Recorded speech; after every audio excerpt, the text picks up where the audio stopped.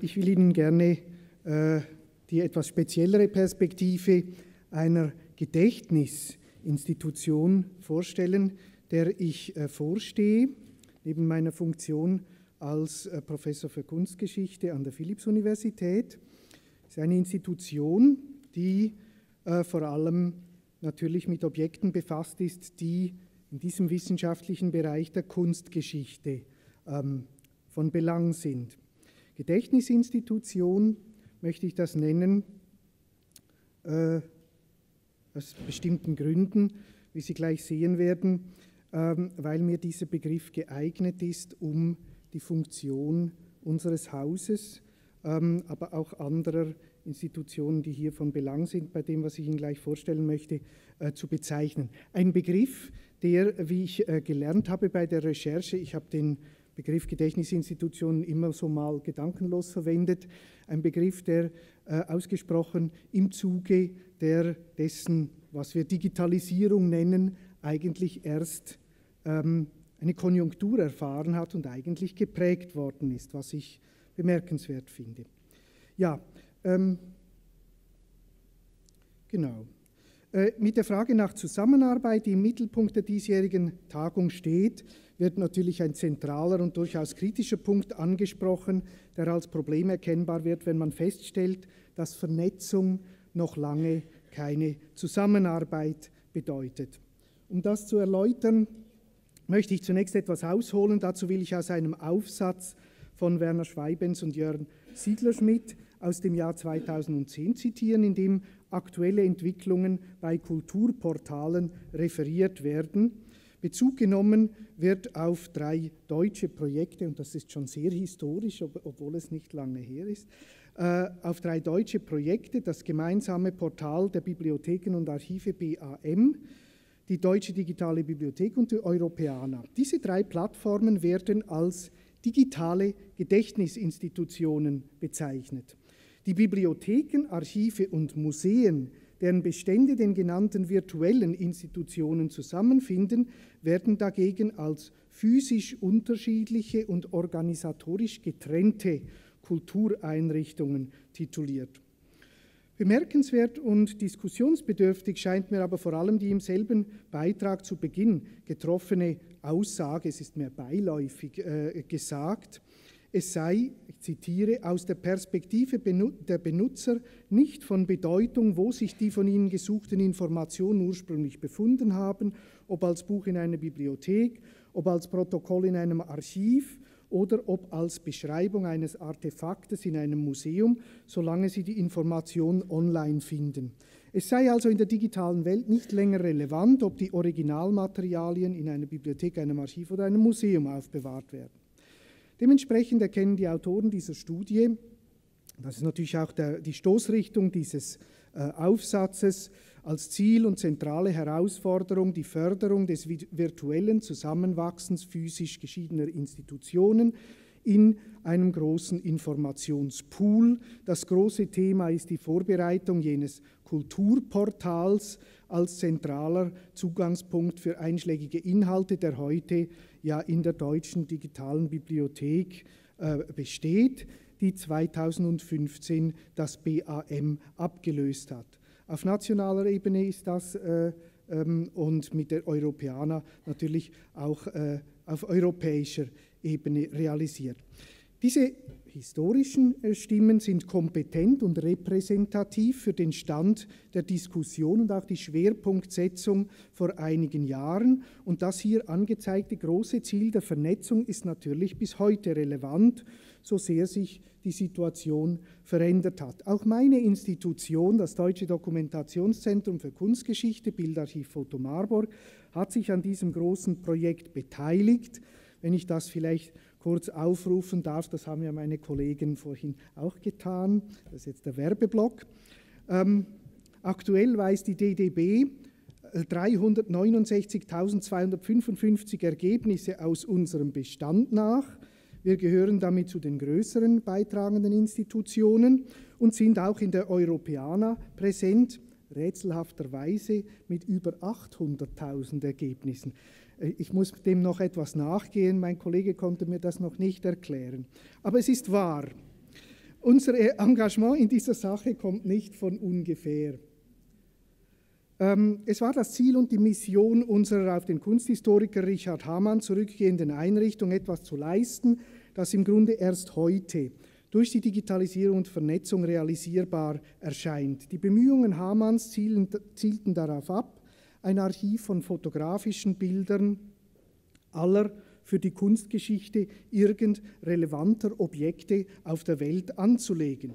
Das heißt, ein Archiv der Kunst der Welt anhand von fotografischen Reproduktionen. Diese Fotografien wurden über die Jahre und Jahrzehnte in Marburg als Negative archiviert, in unterschiedlichen Formen katalogisiert und für die Nutzung verfügbar gemacht. So haben sich in den Kellerarchiven des Marburger Kunstgebäudes nach und nach Fotografien von Werken aus vieler Herren Länder und aus den verschiedensten Sammlungen und Museen eingefunden. Diese Bestände waren vor Ort in Marburg komplett recherchierbar, aus der Ferne aber nur bedingt über die sehr selektiven Kataloge äh, zugänglich, selbst wenn man immer die Idee verfolgte, nicht nur die Kunst der Welt zu archivieren, sondern auch die Nachfrage der Welt zu bedienen. Ja, das ist vielleicht ein etwas großer Anspruch.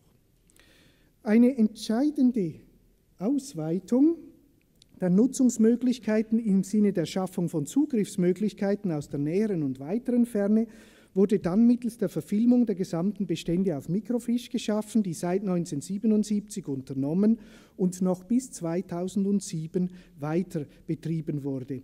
Damit war eine ganz neue Qualität des Zugriffs geschaffen, wobei auch bereits Partnerinstitutionen einbezogen waren.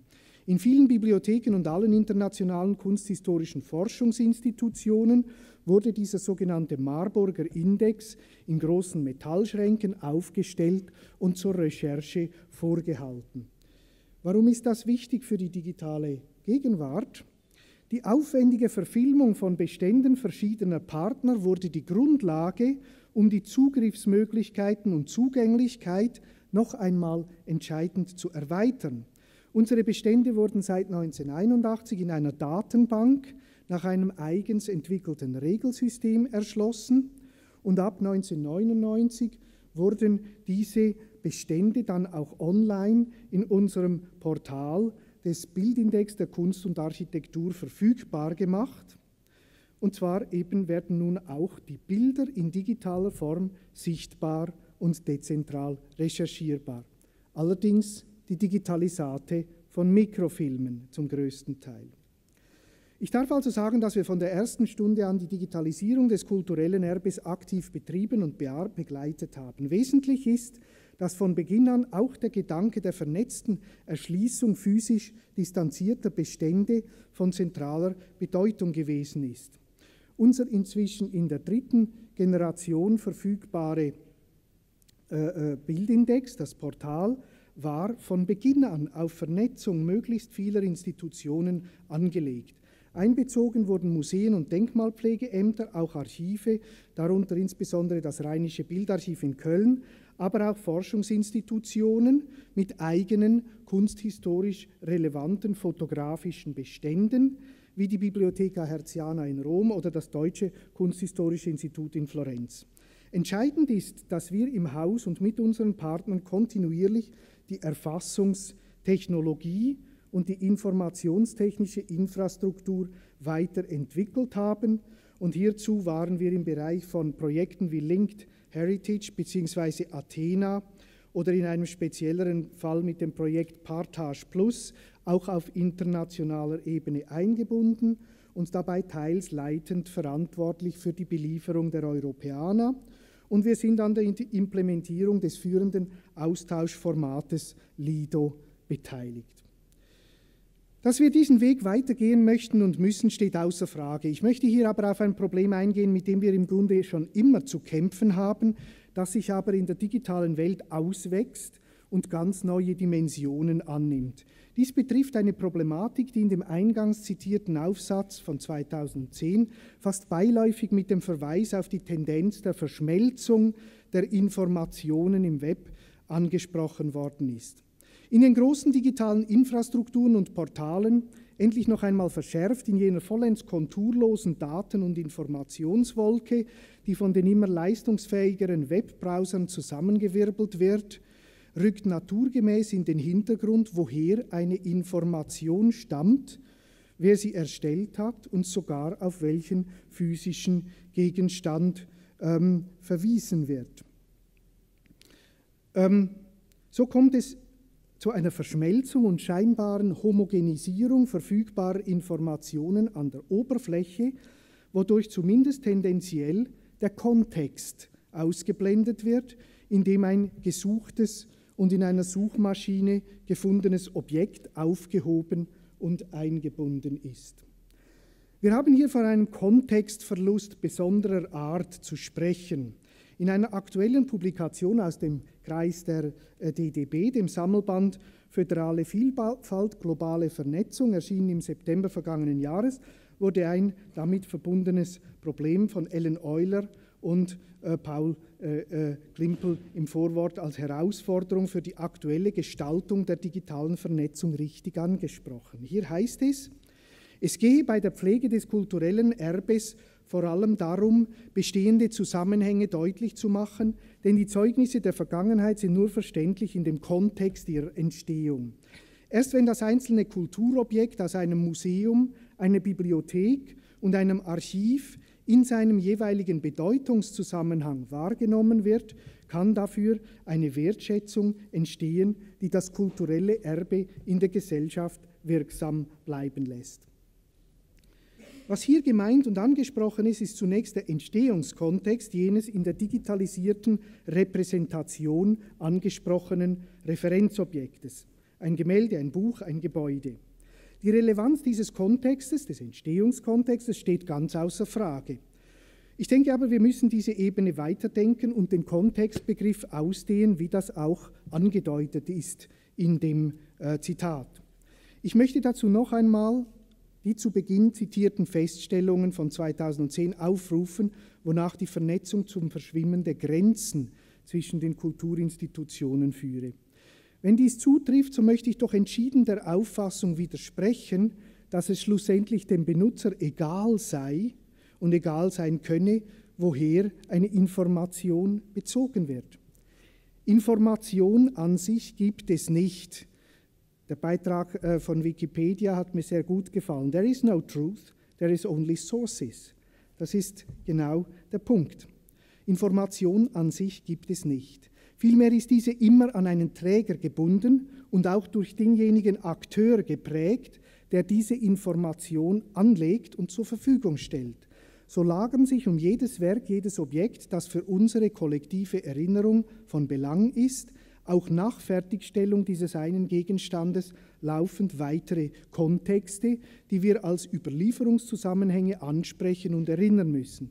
Und dazu gehören natürlich auch wir selbst als Gedächtnisinstitutionen, die mit der Tradierung dieser Objekte und ihrer Repräsentationen befasst sind.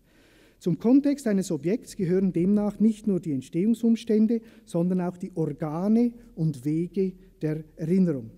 Es ergibt sich hieraus eine notwendige Erweiterung der Aufgaben aller Gedächtnisinstitutionen im digitalen Zeitalter. Herausgefordert sind offensichtlich besonders jene Einrichtungen, die sich noch nie primär als Informationsversorger verstanden haben, nämlich die Museen und Sammlungen, die mit dinghaften Objekten befasst sind, mit Kunstwerken, Monumenten, Erinnerungsobjekten, die einen bestimmten Ort haben, diesem Ort zugehören und die üblicherweise als Originale bezeichnet werden. Ein schwieriger Begriff. Diese Objekte werden nicht aufgrund ihrer Beschaffenheit, sondern aufgrund ihres Erinnerungswertes aufbewahrt. Es reicht also nicht, wenn man diese Objekte genau abbildet und Informationen zum Beispiel zum Typ und Fabrikat der Schreibmaschine von Robert Musil etc. notiert.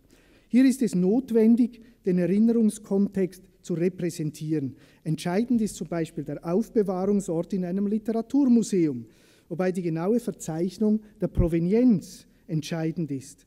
Musils Schreibmaschine ist nicht als Schreibmaschine interessant, ja vielleicht auch für einen Schreibmaschinenhistoriker, sondern als Schreibmaschine Musils und zugleich als Gegenstand, der zur Erinnerung, warum auch immer, an den Dichter Robert Musil in dessen Museum aufbewahrt wird.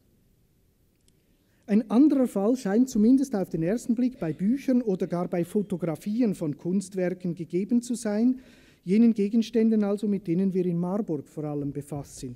Hier könnte man sagen, und hat es auch lange Zeit gesagt, dass die Fotografien an sich nicht erinnerungswürdig sind, sondern diese nur aufgrund der in ihnen enthaltenen Informationen über eine andere Sache, ähm, die äh, äh, von Belang wären, nämlich über das Kunstwerk.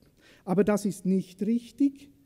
Denn es greift hier genauso der Aspekt, dass diese Fotografien Referenzobjekte für bestimmte Erinnerungszusammenhänge sind, die sich in ihnen und im Umgang mit ihnen an einem bestimmten Ort und einen, in bestimmten Zusammenhängen und Institutionen materialisieren. Auch Bilder, auch Fotografien und auch Bücher natürlich sind Objekte, die in bestimmten Erinnerungszusammenhängen entstanden und aufgehoben sind und sie müssen als solche Bedeutungsträger eigenen Rechts erinnert werden, was besonders deutlich wird, wenn man, wie hier äh, äh, zu sehen, die Provenienz anspricht. Äh, das will ich hier nicht vertiefen, aber Sie sehen, 1946 ist dieses Objekt fotografiert worden, was wir in unserem Portal aktuell eben auch nachweisen können.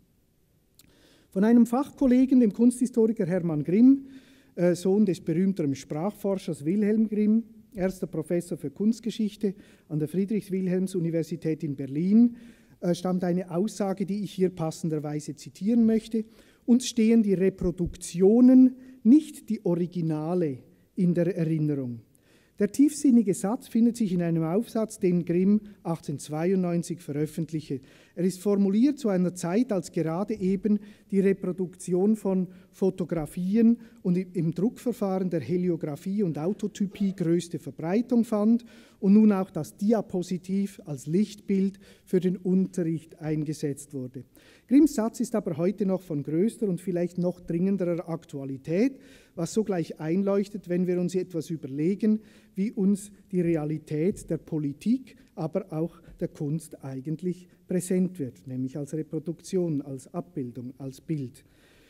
Dies bedeutet, dass auch für Gedächtnisinstitutionen, die scheinbar sekundäre Dokumente aufbewahren, der Überlieferungskontext eines Dokuments, der Kontext einer Information prinzipiell nachgewiesen, aber auch wissenschaftlich reflektiert werden muss.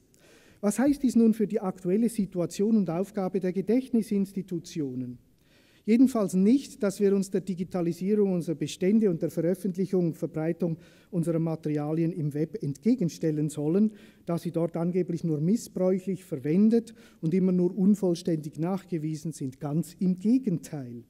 Es bedeutet, dass wir uns nicht weniger, sondern mehr mit dem komplexen Phänomen der analogen und digitalen Repräsentationen von Objekten befassen müssen, dass wir das Gewicht und den Stellenwert gerade auch dieser Form von Reproduktionen im Erinnerungsprozess nachweisen und äh, reflektieren müssen.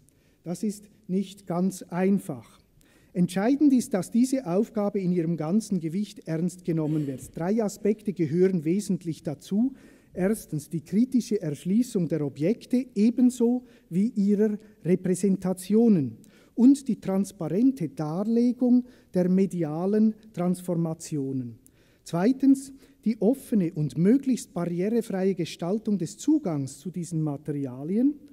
Damit drittens die Verknüpfung der vorhandenen Informationen mit weiteren Wissenssystemen überhaupt möglich ist. Das heißt, die Vernetzung im weiteren Fachkreis, im Bereich der Wissenschaft und darüber hinaus möglichst auch über nationale Grenzen hinweg. Ja, Voraussetzung zur Erfüllung dieser Aufgabe ist jene starke Position der Akteure in diesem Prozess, das heißt der Gedächtnisinstitutionen selbst. Die Akteure und die Interessen jener Institutionen, die eine Information vorhalten, müssen sich, ihr, sich und ihre Zwecke und Ziele klar zu erkennen geben. Es ist nicht nur Sichtbarkeit im Sinne von Publizität verlangt. Wir müssen auch in der virtuellen Realität unsere genuine Rolle als Gedächtnisinstitutionen deutlich machen und unsere spezielle Art des Arbeitens kommunizieren. Entscheidend ist, dass die Gedächtnisinstitutionen die Kontrolle über die von ihnen bewahrten Gegenstände und ihre Repräsentationen, das heißt die Daten und Materialien dazu behalten müssen, denn nur dort, wo ein Bildobjekt aufbewahrt wird bzw. hergestellt wurde, wenn es eine Fotografie ist, lässt sich der zugehörige Informationszusammenhang verifizieren. Dies bedeutet, dass man nur sehr bedingt die Erfassung, die Klassifikation, Kommentierung und Referenzierung eines Bildobjekts an andere übergeordnete Plattformen und Institutionen delegieren kann. Was man aber tun kann und was verlangt ist, es ist geboten und möglich, sich mit Institutionen gleicher oder ähnlicher Ausrichtung zu verbinden und gerade im Bereich der digitalen Erschließung und Veröffentlichung zu kooperieren. Ich meine damit nicht die großen Netzwerkinfrastrukturen wie die DDB und, oder die Europäer. Die sind äh, äh, natürlich äh, wichtig und gegeben. Das sind die Container, in denen das alles hineinfließt. Ich meine auch nicht offensichtlich temporäre Plattformen wie das Google Arts, ähm, ja genau, äh, das Google äh, Arts and Culture Project. Diese Plattform ist im Grunde genommen nur ein Schaufenster für das kulturelle Windows-Shopping. Aber auch die seriöse DDB und die Europäer kann es nur geben, wenn zuvor in den eigentlichen Gedächtnisinstitutionen die Hausaufgaben des digitalen Zeitalters gemacht worden sind, wenn also ein genuin bildkritischer Umgang mit digitalen Bildinformationen im eigenen Haus entwickelt wird. Idealerweise basiert dies auf einer vielschichtigen Kompetenz, die im Haus selbst vorgehalten wird. Sie muss möglichst vom materiellen Sammlungsobjekt bis zur digitalen Rezep Re Repräsentation reichen und sie sollte idealerweise Wissenschaft integrieren. Es ist keine Frage, dass diese Kompetenzen nicht in jedem einzelnen Institut vollständig vorgehalten oder gar neu entwickelt werden kann.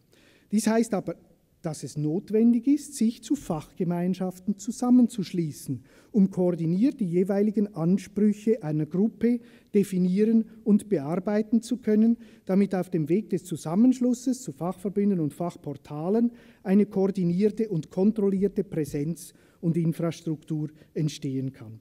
Die Entwicklung solcher Infrastrukturen ist an verschiedenen Orten und in verschiedenen Fachgemeinden in vollem Gang. Es ist möglich, aber im Moment nicht absehbar, ob es mittelfristig zu einer Konsolidierung kommt. Ich möchte zum Abschluss nur zwei unterschiedlich funktionale Beispiele nennen, die für den engeren Bereich der Kunstgeschichte relevant sind und Lösungen darstellen, die je unterschiedlichen, vielleicht auch schwer vereinbaren Ansprüchen gerecht zu werden suchen und unterschiedliche äh, Modelle der Zusammenarbeit repräsentieren. Mit sehr gemischten Gefühlen möchte ich auf die BPK, die Bildagentur preußischer Kulturbesitz, hinweisen. Es handelt sich zweifellos um eine höchst professionelle Einrichtung, die hier alle kennen. Nachgewiesen werden über dieses Portal ausgewählte Bestände einer ganzen Anzahl von Museen und Sammlungen international. Die technische Funktionalität ist beeindruckend, die Optik ist es inzwischen auch, die Angebote sind erstklassig. Das Problem ist nur, dass es sich hier um eine rein kommerzielle Bildagentur und sonst gar nichts handelt, die sich als Dienstleister für Gedächtnisinstitutionen versteht, die bildhafte Objekte vorhalten. Die gibt es auch anderswo. Daran wäre vielleicht nichts Falsches, wenn nicht der Anschein entstünde, es handle sich um eine Gedächtnisinstitution, was entschieden nicht der Fall ist. Dass die kommerzielle Nutzung von Kulturgütern gebührenpflichtig ist oder sein kann, leuchtet ein. Doch ist es schwierig, wenn die kommerzielle Nutzung die Einrichtung einer digitalen Nachweisstruktur öffentlicher Bestände komplett bestimmt. Höchst problematisch scheint mir in diesem Fall, dass die BPK jüngst sogar eine finanzielle Unterstützung aus dem Ministerium für Kultur und Medien von Frau Grütters erhalten hat, zum weiteren Ausbau dieser Plattform, damit die deutschen Museen und auch vergleichbare Einrichtungen des Auslandes ihre Bestände noch besser vermarkten können. Aber ist das die Aufgabe einer öffentlichen Einrichtung?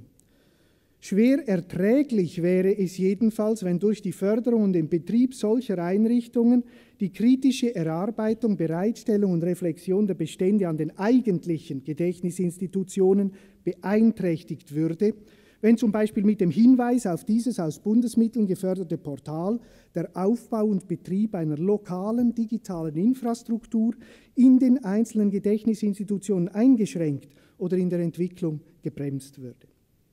Der Weg der Gedächtnisinstitutionen muss, so denke ich, in eine andere Richtung gehen. Unabdingbar ist es, dass vor Ort in den jeweiligen Institutionen eine digitale Organisation und Erfassung der Bestände, wie ich schon gesagt habe, auf der Grundlage von Sach- und Fachkompetenz erfolgt. Ohne diese Sach- und Fachkompetenz wird jede technische Lösung nur Unsinn und Redundanz produzieren. Die lokalen Sachkompetenzen müssen sich auch auf die Informationstechnologie erstrecken. Beides ist aber nur im Rahmen einer Fachgemeinschaft vernünftig zu entwickeln, denn für die visuellen und materiellen äh, Kulturgüter zuständigen Einrichtungen sind hier ähm, ja, Nein, die, äh, die, die für die materiellen und visuellen Kulturgüter zuständigen Einrichtungen sind hier natürlich noch nicht so weit wie die Bibliotheken aus verschiedenen Gründen. Nicht zuletzt aber eben, weil Museen und Sammlungen es mit dinghaften Objekten zu tun haben, mit Gegenständen, die erst in bestimmten Kontexten zu Zeichen und Bedeutungsträgern werden. Gerade hier sind Verbünde, Netzwerke und Kompetenzknoten besonders notwendig, um Übereinkunft zu standardisierten Erfassungsrichtlinien zu erzielen. So, ich bin schon fast am Ende, aber jetzt kommt der zweite Werbeblock. In diesem Bereich sehen wir uns in Marburg seit vielen Jahren in der Pflicht, und zwar nicht als Bildagentur, obwohl viele Leute das immer geglaubt haben, sondern als genuine Gedächtnisinstitution. Ich habe es schon angezeigt, dass die Grundidee des Bildindex der Kunst und Architektur bereits den Aspekt der Vernetzung von Partnerinstitutionen mit einschlägigen Beständen und Erfassungen in integriert. Das Deutsche Dokumentationszentrum für Kunstgeschichte hat sich als Träger dabei immer als Kompetenzknoten verstanden und nicht etwa als Bildermakler. Aber wir haben auch mit dem Problem zu tun, dass manche Partner sich eine bessere Sichtbarkeit im Portal des Bildindex wünschen würden. Andererseits ist die große Stärke eines solchen Portals eben im Verbund. Sie besteht darin, dass der Bildindex eine eigene Identität als kooperativer Akteur hat, indem hier wesentlich ein Verbund von äh, äh, Partnern, von Fachinstitutionen vorliegt, die sich dezidiert mit den visuellen Repräsentationen von musealen Objekten, Kunst und Kulturgut befassen. Einige der Partner und die eine oder andere Institution haben sich darüber hinaus in einer formalen Arbeitsgemeinschaft der Bildarchive und Fototheken zusammengeschlossen und dieser Kreis bildet unabhängig vom Portal eine stabile Gruppe, in der man sich regelmäßig über Projekte und gemeinsame Strategien austauscht. Doch die Kreise müssen weitergezogen werden und können weitergezogen werden. Ein Versuch, äh, den wir mit einigem Erfolg gemacht haben, ist äh, äh, hier zum Beispiel das, ähm, der digitale Porträtindex. Mit DFG-Unterstützung haben wir eine Reihe von grafischen Sammlungen, Museen und Bibliotheken zusammengebracht, mit, deren, mit denen wir gemeinsam dieses Portal entwickelt haben, in dem dezentral Objekte erschlossen und dann bei uns zusammengetragen werden. Auf dieser Grundlage ist äh, der Arbeitskreis Grafik vernetzt entstanden, ein Verbund von 50 Sammlungen in einem Arbeitskreis äh, mit dem Ziel der Verabredung einer standardisierten Erschließung von Grafikbeständen auf Lido-Basis. Und das hier, das hat dazu geführt, dass wir jetzt erfolgreich, hoffentlich, äh, unser nächstes Portal äh, lancieren können, und zwar am 11. November 2017 in Hamburg, das sogenannte Grafikportal, das äh, eine ganze Anzahl von Sammlungen des deutschsprachigen Raumes aus Deutschland, äh, äh, aus äh, Österreich und auch aus der Schweiz ist eine dabei, ähm, zusammenbringt und in der kooperativ die Bestände dieser Sammlungen nachgewiesen werden. Ähm, wichtig ist, dass auch hier die Institutionen, die liefern, nicht nur einfach als Datenlieferanten wahrnehmbar werden, sondern als Akteure im eigenen Recht. Denn erschlossen werden die Bestände in den jeweiligen grafischen Sammlungen, allerdings nach Anleitung eines Regelwerks, das bei uns im Haus erstellt worden ist. Die Akteure kommen aber auch als Kuratoren zur Geltung, mindestens, vielleicht auch etwas mehr, als symbolisch, wenn Sie sehen, wir haben vorgesehen, dass der Curator's Choice hier im Portal sichtbar wird, dass also die Akteure jeweils und immer wieder aktuell ihre Bestände präsentieren können und damit ein, nicht nur einen Human Touch hineinbringen, sondern auch einfach symbolisch als Akteure sichtbar werden. Ja, mit diesem kooperativ entwickelten Projekt möchten wir uns in Marburg eben nicht den grafischen Sammlungen aufdrängen und ihnen eine Infrastruktur überstülpen, sondern wir möchten uns profilieren als ein Kompetenzzentrum für das spezifische und spezielle Anliegen der koordinierten Erfassung und gemeinsamen Anzeige der ersten technischen Reproduktionsmedien der europäischen Kunstgeschichte. Was analog vorliegt, und einst sogar eine analoge Reproduktion war, wird jetzt digital reproduziert.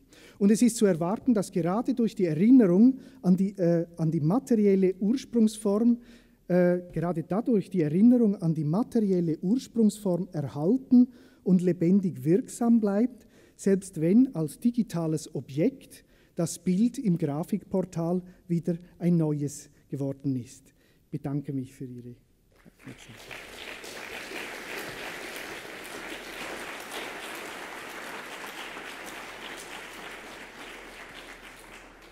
Das war eine Menge Stoff zum Nachdenken und das würde ich auch gerne nachlesen können. Vielen Dank für den Vortrag. Da kann man jetzt, könnte man eine ganze Session dran anschließen. Gibt es schnelle Fragen? Das passt eigentlich gar nicht zu dem Vortrag, aber vielleicht gibt es ja welche. Nur eine kurze Anmerkung. Also ich finde das sehr wichtig, dass Sie sagen, dass auch die Institutionen weiter erkennbar bleiben, die die Sachen zur Verfügung stellen. Denn die tragen letztendlich auch die Verantwortung dafür, dass die Sachen überhaupt reproduziert werden, dass Rechte äh, wahrscheinlich äh, geklärt sind und ähnliches. Also ich denke, da ist es wirklich sehr wichtig, dass die Institutionen auch darüber aufgeklärt sind, was sie dürfen und was sie nicht dürfen. Ganz genau. Und äh, wir haben es ja schon angesprochen und es wird auch noch thematisiert äh, werden. Im Fall der Grafik ist ja das rechte Problem nicht so erheblich, nicht? aber im Fall der Fotografie zum Beispiel sehr, weswegen die Entscheidung, dieses Grafikportal zu machen und einen Schnitt zu machen vor der Fotografie äh, gefällt worden ist. Das war auch beim Porträtindex eine rein pragmatische Entscheidung. Da hinten ist noch eine zweite Frage.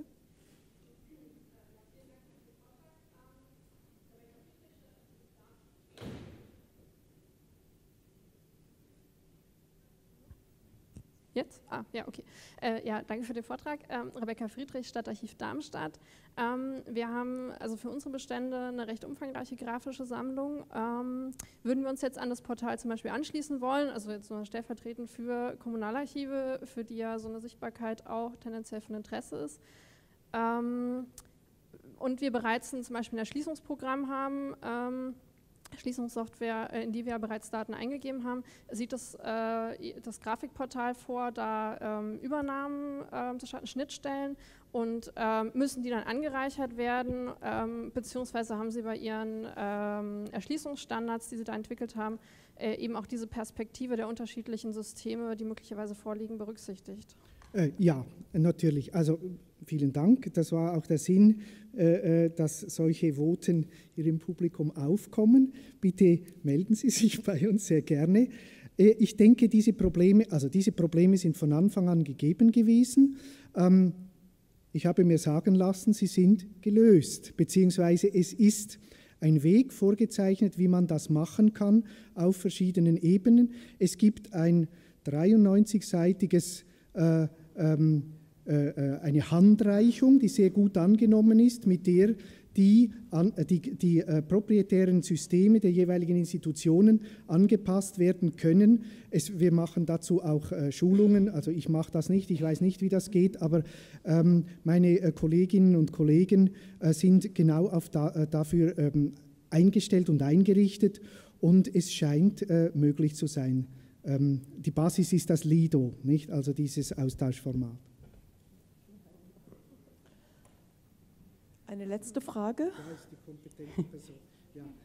Äh, äh, sie stellt sich gleich selber vor. genau, ich bin äh, Gudrun Knaus und rein zufällig bin ich heute hier, um solche Fragen zu beantworten. Ich bin die Projektkoordinatorin für das Grafikportal und tatsächlich ist es so, dass, ja, dass wir von Anfang an vor dieser Herausforderung standen, dass es unterschiedliche Erfassungssysteme gibt und wir haben uns äh, auf den Standpunkt gestellt, man kann diese Unterschiede eben handhabbar machen, indem alle Daten in das Lido-Format überführt werden. Und wie das genau geht, erkläre ich gerne äh, dann im individuellen Kontakt. Also schreiben Sie mir eine Mail, Gudrun Knaus findet man über, über Google Foto Marburg und dann kann ich Ihnen da individuell Auskunft geben.